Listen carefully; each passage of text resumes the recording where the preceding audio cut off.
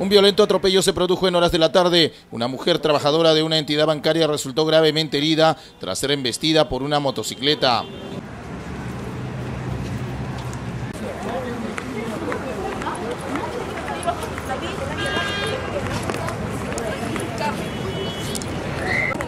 El accidente sucedió a pocos metros de la intersección de las avenidas Pinto y Leguía.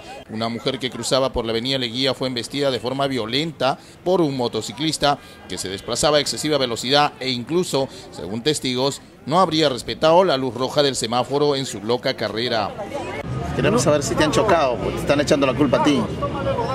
¿No la viste la señora cuando estaba con tu moto?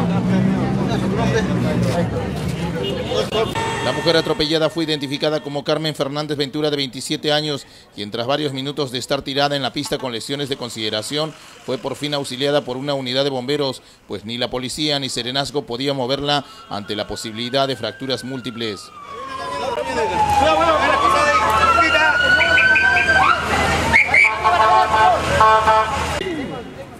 Mientras tanto, la motopistera de placa Z39284, conducido por Héctor Virca Samayoa, quedó despistada a un costado de la vía y su chofer quedó también con graves lesiones, salvándose debido solo a que tenía el casco puesto al momento del accidente.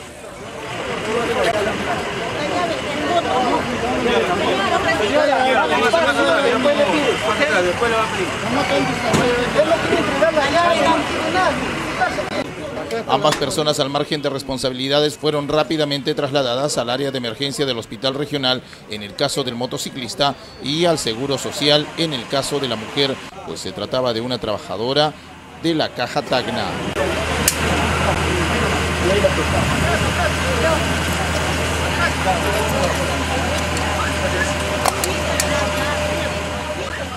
Mientras tanto, los testigos se ratificaron en responsabilizar al motociclista que conducía a excesiva velocidad, por lo que no pudo evitar el impacto con la trabajadora bancaria. Sí, ya la chica estaba tirada. Ya, y el motociclista también. También. El señor sabe, de. Y la motocicleta le han estacionado los demás. patrón. La estaba tirada con, con el joven también.